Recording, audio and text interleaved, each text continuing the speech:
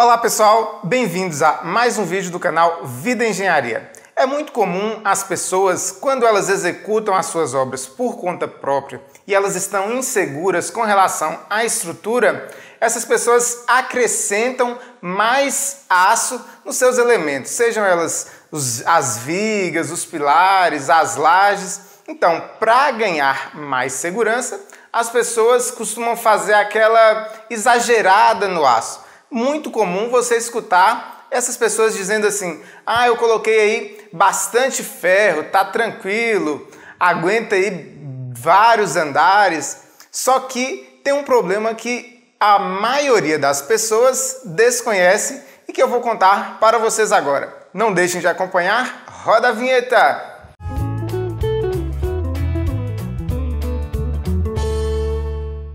Eu já falei para vocês que existe um princípio físico que todo material, ao sofrer um esforço, ele se deforma. Quando você traciona, ele tende a se alongar e quando você comprime, ele tende a se comprimir, a se esmagar. E a quantidade que esse material vai se deformar depende do seu módulo de elasticidade. Como o concreto e o aço possuem módulos de elasticidade extremamente elevados, a deformação que os elementos estruturais de concreto armado sofrem, elas são praticamente imperceptíveis a olho nu. Nós temos dois tipos de deformação que eu vou explicar agora para vocês. Nós temos a deformação elástica e nós temos a deformação plástica. E como é que isso ocorre? Seria mais ou menos assim: os materiais elásticos, quando a gente aplica um esforço neles, eles se deformam só que quando a gente elimina este esforço, eles retornam à sua forma inicial. É um elástico mesmo. Esticou, voltou. Quando você retira o esforço, ele retoma a sua forma inicial. Já os materiais plásticos, as deformações plásticas, o que, que acontece com elas? Esse pedacinho aqui de plástico é um bom exemplo. Se eu aplicar aqui um esforço, vocês vão ver que este material vai se deformar, ele está alongando bastante, só que quando eu libero este esforço, o material não retorna à sua posição inicial. Vejam que ele se alonga e continua nessa forma alongada. No limite de cada uma dessas deformações, existe o que a gente chama de ruptura. A gente aplica o esforço, o material vai se deformando, só que chega um ponto em que a gente ultrapassa a capacidade que ele tem de se deformar e ele se rompe. E aí a gente tem dois tipos de ruptura. Nós temos o que a gente considera as rupturas elásticas, que é quando o material vai se deformando e se rompe, e nós temos um outro tipo de ruptura que a gente considera a ruptura frágil ou instantânea. E alguns materiais, como por exemplo esse giz, se a gente aplicar um esforço nele, a gente vai aplicando esse esforço, ele não se deforma, só que chega um ponto em que a gente ultrapassa a resistência dele e ele se rompe sem passar por este estágio de deformação. Observem só.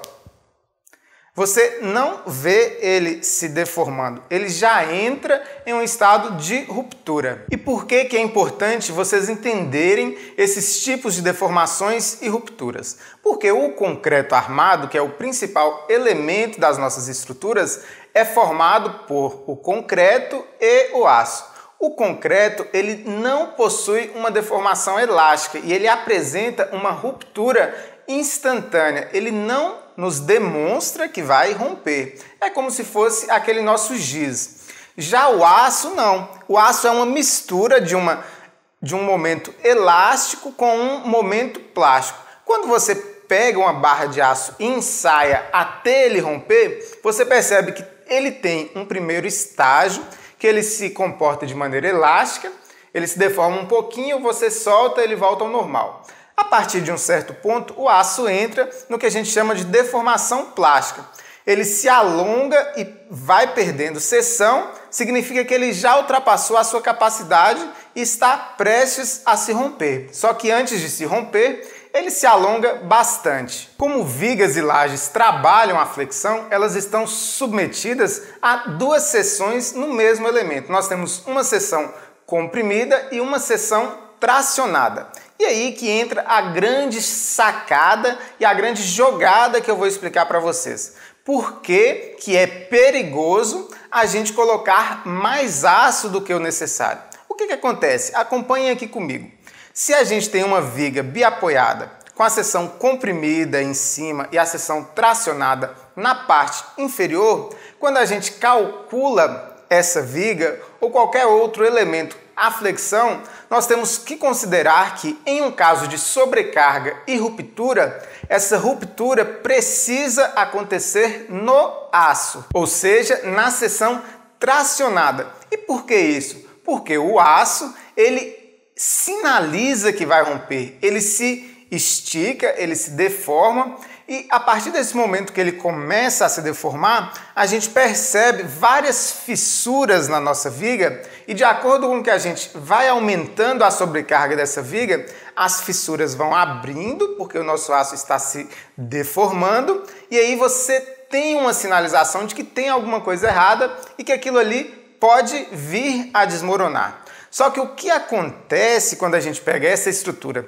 bem calculada na quantidade exata de aço, e aí a gente coloca muito, muito mais aço do que seria necessário. Acontece que a gente vai começar a sobrecarregar essa viga, a viga já está se esgotando, mas tem tanto aço que ela está ali de boa. Você não tem nenhuma sinalização que está ocorrendo algo errado. E aí você vai aumentando a sobrecarga e aí, o que, que vai acontecer? Em vez da nossa viga se romper na seção tracionada, ela vai se romper na seção comprimida, que é onde está o concreto. E como eu expliquei para vocês, concreto não avisa que vai romper. Ele simplesmente perde a sua capacidade e desmorona. Então, essa é a dica. Nas vigas, nas lajes, nos elementos que estão submetidos à flexão, nós temos que ter em mente que muito aço é sim perigoso, ao invés de ser mais seguro. Porque com uma viga com um pouco menos de aço, você percebe que ela vai romper. Se você colocar muito aço, você não vai ter este aviso e pode ter uma ruptura instantânea. Se você ficou curioso e quer saber um pouco mais sobre como isso ocorre, pesquise sobre os estágios e domínios de flexão. Mais um pouco à frente, irei gravar também um pouquinho explicando esses estágios e domínios para vocês. Vejo vocês semana que vem. Gostou do vídeo? Clique no joinha, se inscreva no canal. Fui!